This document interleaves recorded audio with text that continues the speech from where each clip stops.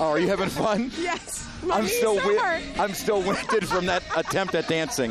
Oh, Oh, you know what? That was humiliating. No, but you know what? Chris has been giving me so much about this jacket. Well, all right, Which, look. By the way, I hope you guys like the jackets. I picked them out. Chris Franklin doesn't really like his, but no, I like it. you just sent me a picture and I didn't know what to make of it, but in person they're great and this will work work for Saint season and I'm just trying to feel better about feel the situation. better about my situation.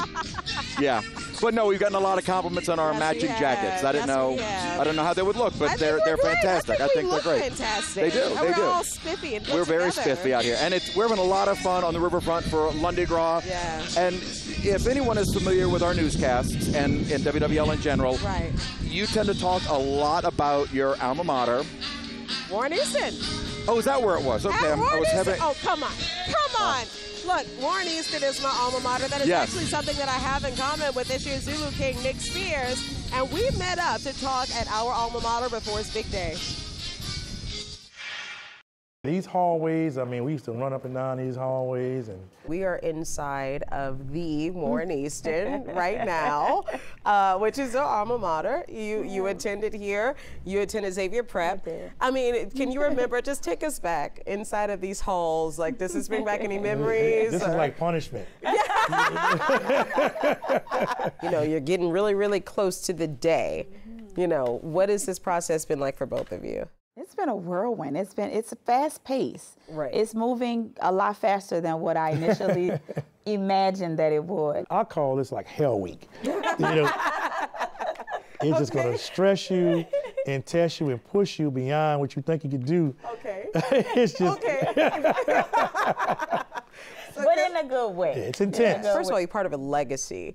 Um, and it's a sense of celebrity that comes along with it too. It's bigger than you. Yeah. It is. It's, it's bigger than you. Yeah, that's what it goes back to. So it's a huge responsibility, and, uh, and we're very honored for it. Growing up in New Orleans and the fabric which Zulu, Zulu plays into the culture and the community, uh, being over 100 years old as an organization, a black organization, um, that is a huge, tremendous responsibility because the progress, and you want to make sure that you entrust in the progress and moving it forward so that, you know, the people that have came before you, they can be proud of you.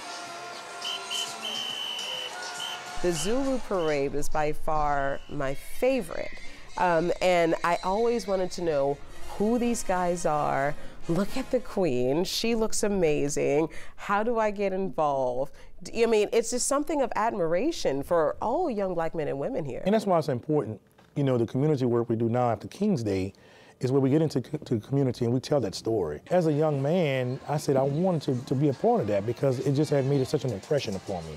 I believe a lot of that goes back to when Zulu was Black Mardi Gras for us. It is what we had, you know, through segregation and through civil rights.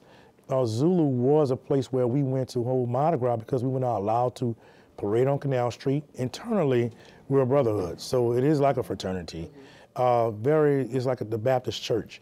Everyone looks after each other. Um, we we pretty much believe in that. You know, we have to make sure each other is together. Zulu is just not a Mardi Gras organization. It is a, uh, a social and pleasure club where we operate 365 days a year. So in that space of community, whether it's the Toys for Tots, whether it's the holiday baskets or the Night Out Against Crime, uh, we're seeming it, we're invested in this community. So And Right. you're leaving a lasting impact as well. That's also something I think that you guys are doing a great job at for young black men, young men in general. Well, Obviously, we're expecting a coconut. got to. What do you got? That's that's the one. What do you got there? So this is just one, you know, out of many we have, you know. I think we got right at a thousand. Okay.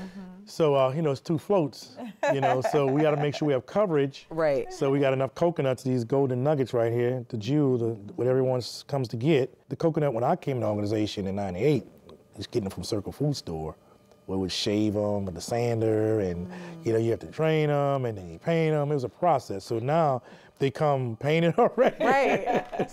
like, so you were a part of this since 98. It's 98. Okay, so you've been a member that long, and yes, what's the changes you've seen with my the gosh. organization as it We've grown. transitioned?